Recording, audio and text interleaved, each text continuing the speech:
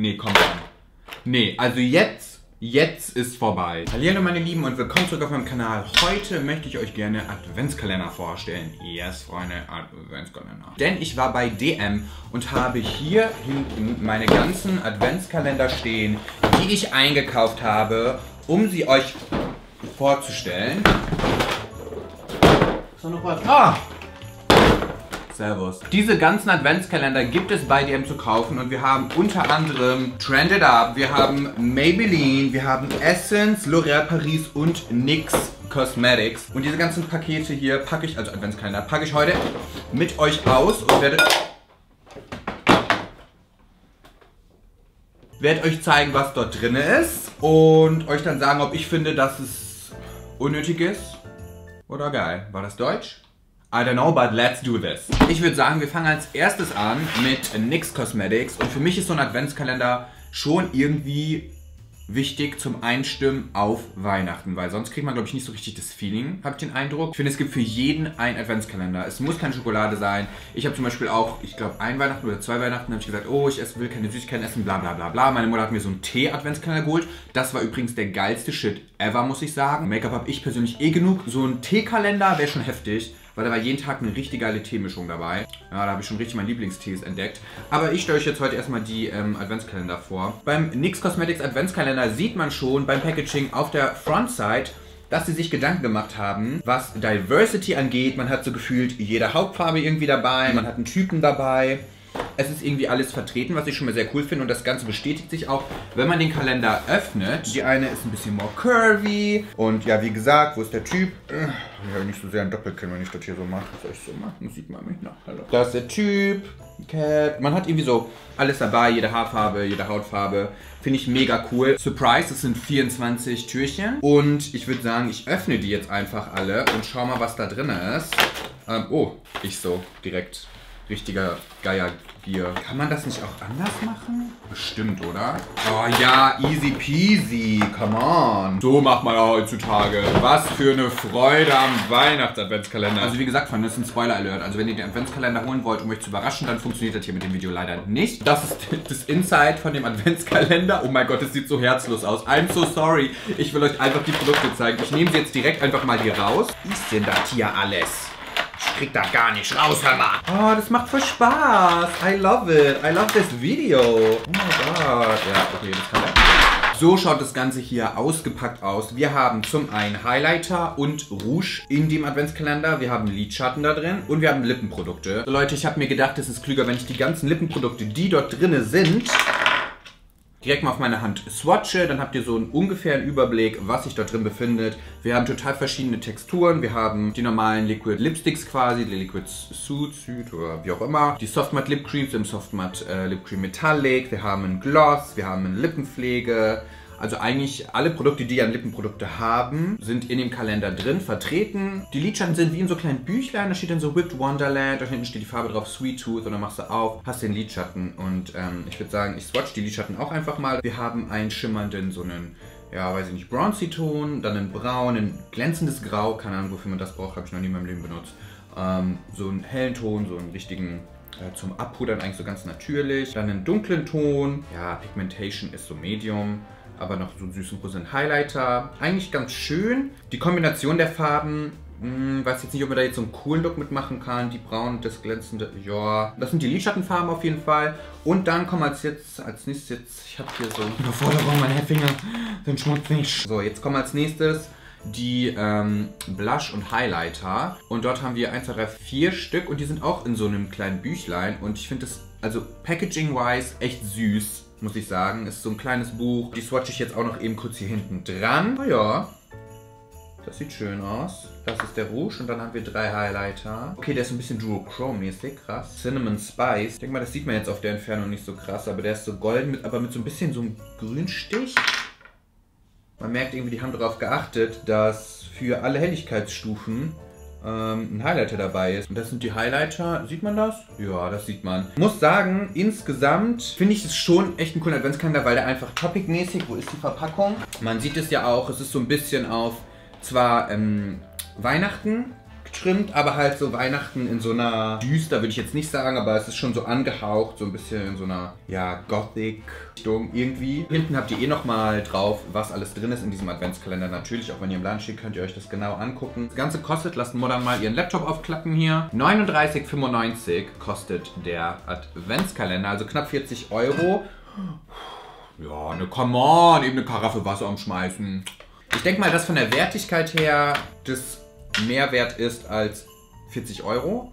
Würde ich jetzt mal so schätzen. Klar sind die Größen der Lippenstifte, der Lippenprodukte kleiner als sonst und Lidschatten denke ich mal auch. Obwohl, ja, 2 Gramm ist ein bisschen kleiner als üblich. Aber ich glaube schon, dass man dennoch ähm, dass es okay ist. Also, dass es passt. Ich glaube, es ist ein okayer Preis. Aber ich werde das auf jeden Fall am Ende nochmal mit allen anderen vergleichen und dann sagen, welchen ich persönlich am liebsten mag, welchen Adventskalender. So, ich hatte euch eigentlich aufgenommen, wie ich mein Thumbnail aufnehme und was es für ein Struggle ist. Mir sind jetzt Sachen runtergefallen und alles ungewollt. Manche denken ja mal, ich mache es absichtlich, aber leider hatte ich das Mikrofon für genau die Aufnahmen ausgemacht gehabt und deswegen ich weiß nicht, ob es mit drin ist und wenn doch, habt ihr ja nichts gehört, ne? Schade. Als nächstes kommt jetzt Essens. Schauen wir doch direkt mal rein. Was ist das hier für ein Kästchen? Das ist die 17? Süß. Hä, nee, verstehe ich nicht. Ah, open here. Okay, Moment. Okay, so ist es geplant, meine lieben Freunde. Essens hat sich richtig Gedanken gemacht. Nee, ist doch falsch. Ah, hier sind an den ganzen Seiten sind so Türchen, ja. Die kann man aufmachen. Ist das hier auch eine Tür? Marvin 26 versteht den Essence Adventskalender nicht. Love it. Also man hat die ganzen Dinge eigentlich so zu und dann macht man das auf und man darf jeden Tag ein Türchen ziehen. Und hier ist das erste, dann ziehst du die 1 raus und dann fallen die nächsten nach. Und dann kannst du danach hier weitersuchen und dann findest du die 2. Oh, damn Jesus, she's big. Oh, aber ist gefühlt nichts drin. Und dann rücken die anderen nach. Das ist natürlich mega cool, aber Modern hat eilig, Freunde. Oh, ich habe direkt die 24 in der Hand. Was ist denn der absolute Ultrapreis? Das ist die Essence Glow to Go Highlighter Palette. Okay, ich öffne das jetzt einfach alles mal ganz kurz und weil ist das denn hier für ein Zettel? Was für ein Tag ist das? Der zweite. Am zweiten Tag gibt es nur ein Blatt Papier oder was? Was ist da hier mit den Blättern? Giftsticker, Geschenkaufkleber. Ja, dann zeig mal her, Essence, was das für Geschenkaufkleber sind. Oh ja, süß. Oh my dear, do not open until Christmas. Joy. Okay, das finde ich schon mal ganz cool. Ja, ich wollte das jetzt einfach erstmal alles auspacken und dann mit euch zusammen durchgehen. Ähm, was haben wir hier? Nail Sticker. Dann haben wir einen Eyebrow Pencil. Sagen, ist halt schon echt viel Packaging, ne? Für so ein kleines Ding. Also ist süß, aber ist ganz schön viel Verpackungsmüll. Ich so auf einmal, richtige Mutter. Weißen Kajal. Ja, also die hätte man noch irgendwie ein bisschen kleiner machen können, muss ich sagen. Brush Sleeves. Ach so, ich dachte gerade irgendwie für einen Weihnachtsbaum ist das was. Ach, da kann man seine Pinsel reinpacken, damit die wieder in Form sind? Ob zum Trocknen deiner frisch gewaschenen Pinsel oder beim Reisen zum Schutz. Ja, okay. Was haben wir hier sonst noch? Einen kleinen Cheek and Contouring Brush. Einen, oh, Nagellack in so einem richtig schönen Farbton. Was ist das hier? Lippenstift. Ich swatch das einfach direkt, Freunde. Why not? Kosmetiktasche. Happy Thoughts Inside. Ich sag, hier sind irgendwie voll viele Sticker drin. Ups. Finger and Bracelet Tattoos.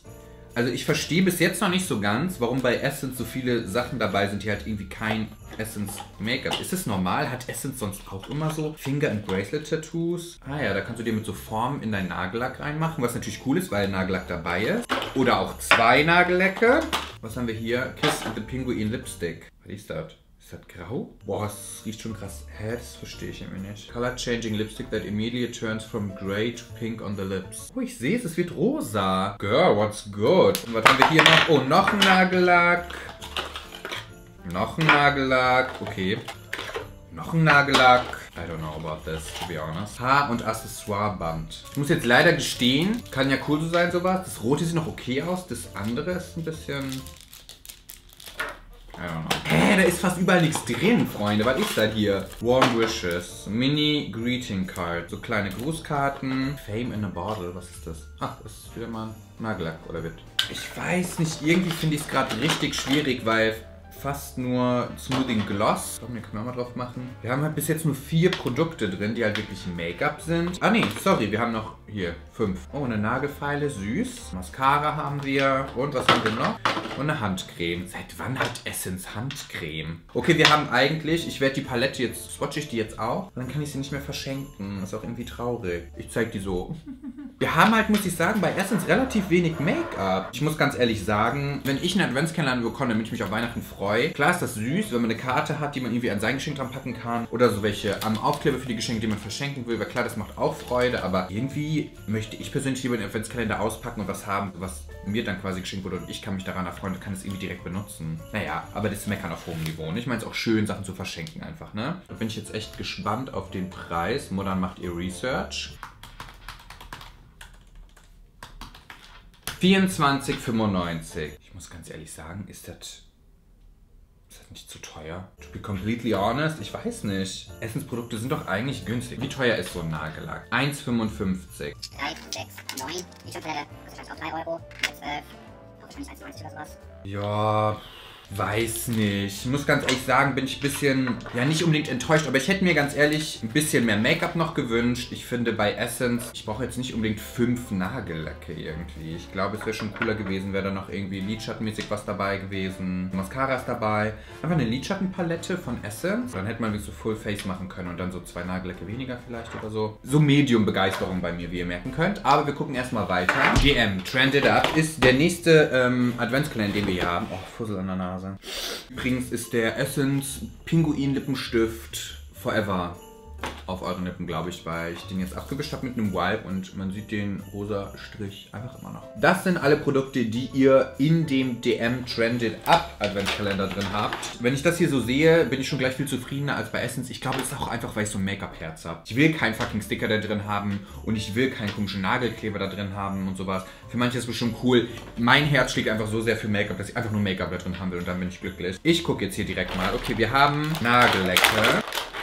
Und zwar haben wir vier Stück. Wir haben zwei so kleine. Und zwar einmal in so einem dezenten Gold, so ein Champagnergold und einem Bordeaux-Lila Ton. Und dann haben wir ein Double Volume and Shinier Polish. Okay, das ist dann einfach andere Art und Weise so ein grau-braun. Hübsch, hübsche Farben und dann so einen richtig geilen Holo Dimension Nail. Der sieht schon echt cool aus, muss ich sagen. Geil. Boah, der sieht richtig geil aus. Einmal so auf meinen Einnagel drauf gemacht. Ich habe noch von meinem letzten Outfit so ein bisschen Nagel auf den Fingernägeln.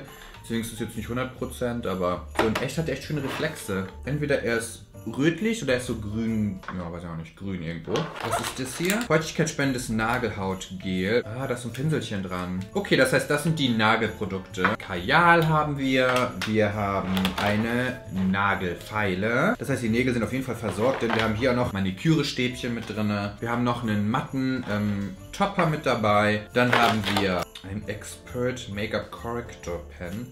Was ist das denn? Das ist bestimmt zum Nachfüllen. Ah, fancy. Ich so, was soll man denn hier mitmachen? Auch Eyeliner ziehen. Zur Entfernung von Long-Lasting und Stain-Produkten geeignet.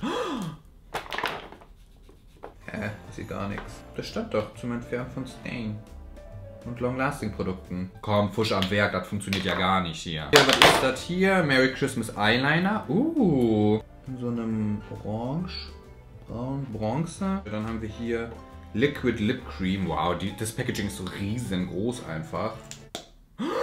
Was ist das? Ich habe noch nie in meinem Leben so einen großen Lip Applicator gesehen. Oh, das ist ein Lippenstift. Oh wow, der Packaging wow. Schwierige Farbe, ne? Muss man auf jeden Fall Lipliner oder so drunter machen. Ich glaube, der sieht ganz geil aus auf einem braunen Lippenstift. Auf einem matten, so als Highlight in der Mitte. Lip Gloss und Lip Cream. Mmh.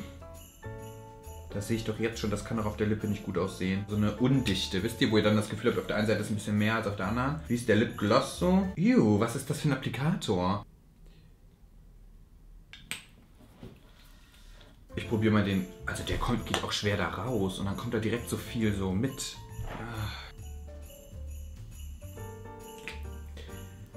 Also, irgendwie ja, kann ich mir vorstellen, diese Lippenprodukte, auch dieses gräuliche Braun hier, den Lippenstift kann ich mir auch vorstellen, aber nicht alleinstehend, ohne einen dunkleren Lipliner, ohne einen matten Lippenstift drunter. Also wenn ihr das Set hier holt, diesen Adventskalender, könnt ihr nicht einfach nur das auftragen, das wird gut aussehen. Das kann ich mir nicht vorstellen weil es einfach zu krasse Farben sind. Da muss man echt irgendwie den passenden Teil für haben oder wirklich einen anderen Lipliner dafür. Aber einfach nur die alleine, ich glaube, das wird schwierig. Und ich mag das gern, wenn man halt in den Sets direkt das halt so drin hat, dass man auch wirklich das alles benutzen kann. Oh, warte mal. Hier ist noch ein Lippenstift mit dabei. Oh, der hat eine sehr schöne Farbe. Wow. Oh, der ist auch hübsch. Oh, der fühlt sich auch gut an. Die sind geil. Die kommen mir gut vor. Ist das jetzt hier? Ah, oh, wie kriege ich das raus?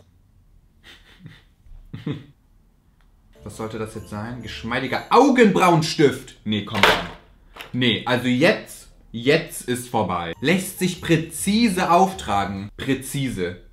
Wie soll ich den äußeren Part meiner Augenbraue damit präzise nachziehen? Wasserfest auch noch. Wenn du es dann schon verkaufst, dann schreib nicht auf die Verpackung für präzise Augenbrauen, weil, honey, that's not right. Vielleicht funktioniert das für manche, bei mir funktioniert es nicht. Schreibt es mir gerne mal in die Kommentare, ob ihr es jemals ausprobiert habt, weil bei mir funktioniert es auf keinen Fall. Oil-Free Mascara. Ja, Mascara halt. Eyeshadow. Oh! Hä, nur ein Eyeshadow? Ne, zwei. Okay, zwei Lidschatten. Ja, der ist ganz süß. Das sind die zwei Lidschatten. Kann die gut zusammen verwenden. Der eine wirkt irgendwie so warm, der andere so kühl. Ich blende die mal so ein bisschen ineinander. Ja. Ich weiß nicht. Irgendwie, wenn ich mir jetzt meine Hand angucke, ist das alles einfach nur braun oder rot. Aber auch irgendwie so alles so gleich. Also die Lippenstifte, okay, da ist ein Nude-Lippenstift dabei. Aber die Rottöne sind, ich weiß nicht. I don't know. Was kostet DM Trended Up? 27,95. Ich glaube, ist gerechtfertigt. Ich meine, DM Trended Up ist, glaube ich, ein bisschen teurer als Essence. Nagel. 2,25. Ja, das kommt wahrscheinlich von der Wertigkeit hin würde ich sagen, ist angemessener als bei Essence, aber hat mich jetzt auch nicht vom Hocker gehauen, muss ich ganz ehrlich sagen. Aber ist okay. Also ich meine, es sind ganz coole Sachen dabei. Also bei Essence waren auch ein paar ganz coole Sachen dabei. Ich meine, diese Highlighter-Palette ist cool, dass sie dabei ist und ein paar von den Glitzer-Nagellacken zum Beispiel fand ich auch cool. Hier mag ich auch schon gerne den ähm, Nagellack und die anderen Nagellack auch und an sich so diesen Lippenstift, so diese Brauntöne. Ich finde es cool, dass so ein Set da ist für die Nägel, dass man die wirklich wenn da schon Nagellack dabei ist, auch fresh machen kann mit Nagelpfeiler und sowas. Ihr müsst es für euch entscheiden. Ne? Ich habe eh jetzt schon genug Adventskalender und die auch alle schon geöffnet. Ich brauche gar keinen mehr, glaube ich. Ich mache das ja für euch, ne? Ich packe das ja für euch aus und ihr könnt dann entscheiden, ob ihr das wollt oder nicht. So, und als nächstes L'Oreal Paris und ich habe gelesen, Adventskalender zum selber machen kritisch. Ganz kritisch. Selber machen ist bei mir ganz kritisch. Für manche vielleicht vielleicht ganz cool. Ich gucke auch einfach direkt mal, wie viel der gute kostet. 44,95. Okay, das ist auf jeden Fall ein bisschen preiswerter, aber L'Oreal Paris ist halt auch ein bisschen eine preiswertere Marke. Oh, Gottes Willen. L'Oreal Mix Adventskalender, Tüten und Sticker. Man hat hier halt einfach echt die Nummern quasi 1 bis 24 auf so einem goldenen Sticker. Und dann hat man hier die einzelnen Tütchen und da kann man das dann öffnen. Kennt ihr diese Butterbrotstullen, die man dann bekommt von seiner Mama, wenn man in die Schule geht? So sieht das aus. Und dann nimmt man sich hier einfach, ich sag jetzt direkt mal, wow, L'Oreal Glam Beige Crushen, Crushen Dings. Jetzt schmeißt du rein und sagst so, komm, hier, Tag Nummer 14, das wird super, da gönne ich richtig. Und dann mache ich dann einfach noch mehr rein, dann sage ich so geil, L'Oreal El Vital, L'Oreal Revita Lift, Revita Lift Anti-Age. Ja, das ist auf jeden Fall nichts für Kinder, dieser Adventskalender. Packe ich alles rein, dann mache ich dazu und dann sage ich hier, Tag 14 läuft bei dir, hast sonst nichts mehr an den anderen Tagen, aber 14 ist voll. Nein, Spaß, also so funktioniert das Ganze. Und jetzt würde ich sagen, gucken wir mal, was wir alles hier drin haben für Produkte, die man dort rein sortieren könnte. Ich dachte tatsächlich, da wäre mehr Make-up dabei. Natürlich habt ihr eigentlich immer hinten auf der Rückseite, ja, habt ihr alles drauf, was drin ist, aber ich habe halt einfach nur gesehen, Adventskalender, zack, zack, zack, zack, zack, nehme ich mit. Und deswegen gucke ich jetzt mal, also wir haben ein Anti-Haarbruch-Shampoo, wir haben die L'Oreal Revita Lift Anti-Age Intensivpflege für den Tag, steht da Alter, 40, 50, 60. Ja, also wenn jemand von euch in dem Alter oder seiner Mama einen Adventskalender schenken möchte, ist das da vielleicht ganz gut. Ähm, dann haben wir hier ein, eine Foundation, genau. Ich muss erst mal gucken, weil ich kenne die gar nicht so richtig. Einen Nagellack in Rot, Schlüsselanhänger. Naja. Dann haben wir zwei Lippenstifte, und zwar in der Farbe, oh, die ist hübsch. In der Farbe, oh, die hübsch. Einmal haben wir einen O-Ton, sehr leicht deckend halt nur, aber ich habe das Gefühl, sie sind irgendwie immer bei L'Oreal und so einen bräunlicheren, aber trotzdem noch so ein bisschen so warmstichig, da so ein leichter rosaner Unterton drin. Dann noch ein Color Glanz Pflegeschampoo, Color, Color. Dann haben wir eine Seidigkeitsritualmaske. Dann haben wir ein Leinsamen-Elixier und UV-Filter. Ich habe Fehler gelesen. Tagescreme fürs Haar, Farbpflege. Ja, sehr viele Pflegeprodukte für die Haare. Oh, das L'Oréal Paris Annette Haarspray. Das ist ja mein Tod mit meiner Duftstoffallergie. Und deswegen haben wir es gleich noch mal in einer großen Ausführung. Dann haben wir ein Nährpflege-Elixier zum Ausspülen. Make-up-Entferner Express für Augen und Lippen. Wir haben Colourista Washout. Ist da immer hinten drauf, was für eine Farbe drin ist? Immer das Mintfarbene drin. Hätte ich ja sogar richtig Bock mal wieder drauf, gell? Was denkt ihr? Soll ich mal wieder Farbe machen? Jetzt, wo ich immer Spray-Tan habe und Self-Tan habe und so. Dann kommen wir zu dem Red Retouch Nagellack. Die haben ja diese verrückten, die so wie so ein Stift benutzt werden. Und dann haben wir Kuren fürs Haar. Ah nee, auch für die Haut. Noch so ein paar Proben mit dabei. Eine Foundation, die halt dann so random in irgendeinem Farbton da drin ist. Ist halt immer ein bisschen schwierig. Würde ich generell einfach eher nicht in so welche Sachen reinpacken, weil es halt meistens nicht passt. Aber man kann sie auch verschenken. Dann haben wir eine Mascara, einen Kajal oder Liner. Und was ist das hier für ein Set? L'Oreal Multimasking Mini Set. Klärende Maske, Detox Maske, Peel Peeling Maske. Da ist auch direkt angegeben, welche man für welchen Bereich im Gesicht benutzen sollte. Ja, relativ wenig Make-up. 44 war das, genau. Ich glaube, 44 ist angemessen. L'Oreal-Produkte sind generell eher teuer und ähm, beziehungsweise so im ne, mittleren Bereich auf jeden Fall für die M eher bei der teuren Seite und deswegen glaube ich, ist es auch total angemessen. Ist halt eher ja, alles ein bisschen haarlastig. Wir haben auch ein bisschen Make-up, aber eher wenig. Und ich meine, wenn dann Foundation drin ist und so, die Farbe muss halt passen. Ne? Also höchstwahrscheinlich kauft ihr euch das und es passt nicht. Das heißt, im Endeffekt bleibt euch nur der Lippenstift oder die zwei Lippenstifte und der Kajal. Das ist die ähm, L'Oreal zum selber machen Adventsbox. Als nächstes kommt der Maybelline Adventskalender. Der ist super riesengroß einfach. Da ist jetzt auch besser richtig viel drin, weil sonst finde ich es ein bisschen übertrieben, dieses Packaging. Oh, da ist was drin, was ich gar nicht gebrauchen kann. Ah, cool. Das, was ich cool finde, ist, dass man das hinten einfach abnehmen kann. Und dann weiß nämlich niemand mehr, was drin ist. Und dann kann man das seinen Kindern geben. Es gibt safe nur vier Klebestreifen an dieser Verpackung. Und ich bin trotzdem derjenige, der versucht, das aufzureißen, weil ich mich weigere, alle vier Klebestreifen abzumachen, weil es immer so anstrengend ist.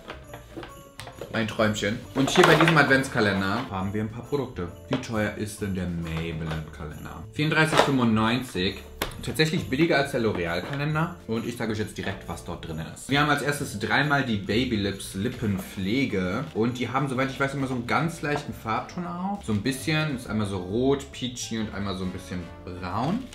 Die sind mit dabei.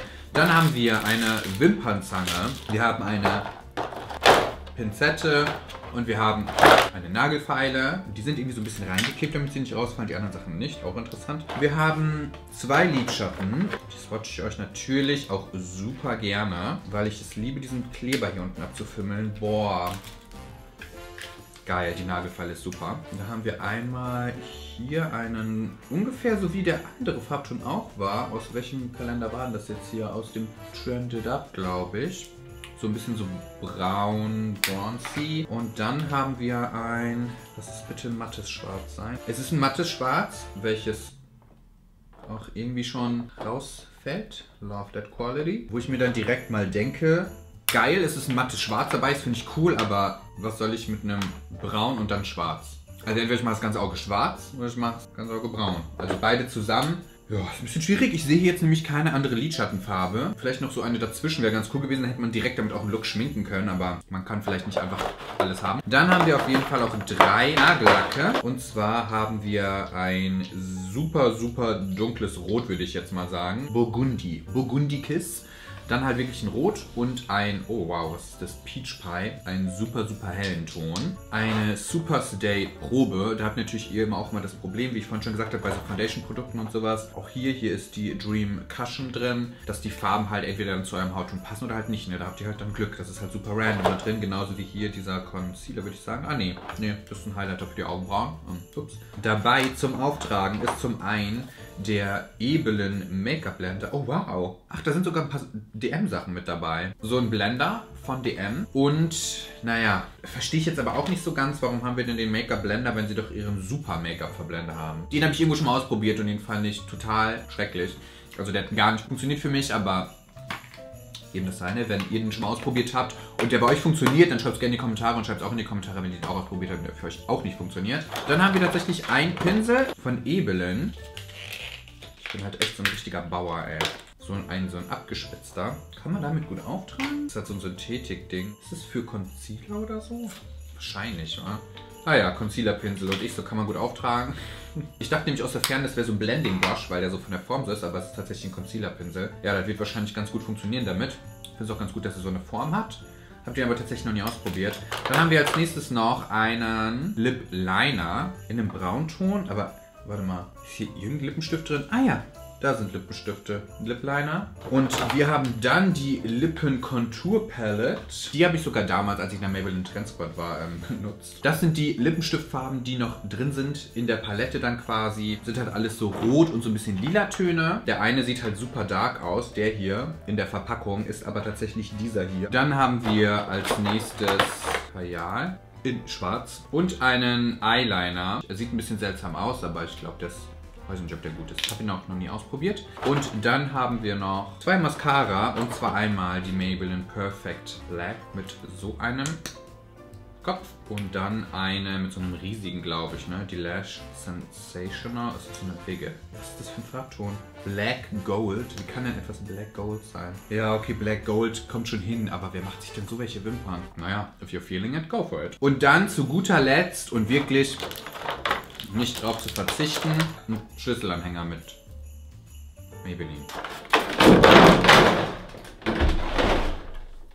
Mein Fazit. Ich würde sagen, mein Lieblingskalender ist der von NYX. Eindeutig. Der gefällt mir tatsächlich am besten, weil das Packaging einfach mega cool ist. Es ist mal was Neues.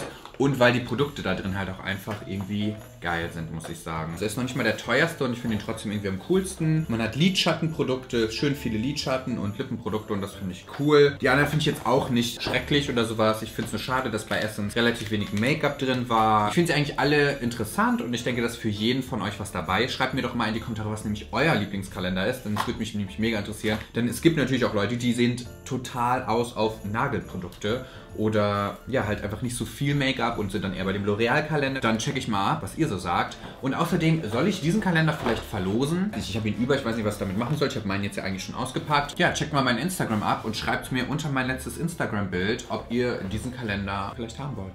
Wer von euch will ihn haben? Schreibt sie unter mein letztes Instagram-Bild, dann ähm, verlose ich ihn vielleicht einfach direkt an jemanden. Links sind in meiner Infobox und in den Kommentaren zu meinen anderen Social Media wie Instagram, also auch Twitter und Facebook und TikTok und alles. Das ist natürlich eine Bildaufteilung. Bah, ist ja ekelhaft. Ja, ich hoffe, euch hat das Video gefallen. Wenn dem so ist, dann lasst mir gerne noch ein Däumchen nach oben da. Und dann würde ich sagen, sehen wir uns im nächsten wieder. Macht's gut, mein Lieben. Ich hab euch lieb.